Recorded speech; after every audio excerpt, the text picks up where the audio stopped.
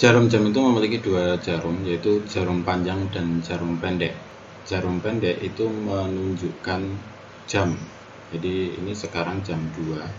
Kemudian ketika jarum pendek menunjukkan angka 3, kemudian jarum panjang menunjukkan angka 12, berarti itu jam 4. Misal ini ya, jam 4. Nah, seperti itu posisinya.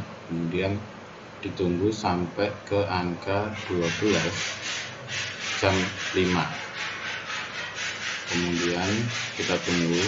Ketika jarum panjang di angka 12 maka itu menunjukkan jam tepat jam 6 kemudian ditunggu lagi sampai angka 12 itu jam 7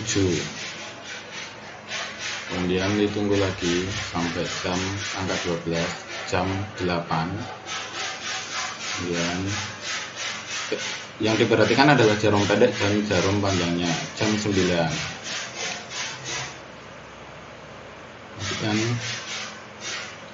jam 10 dan seterusnya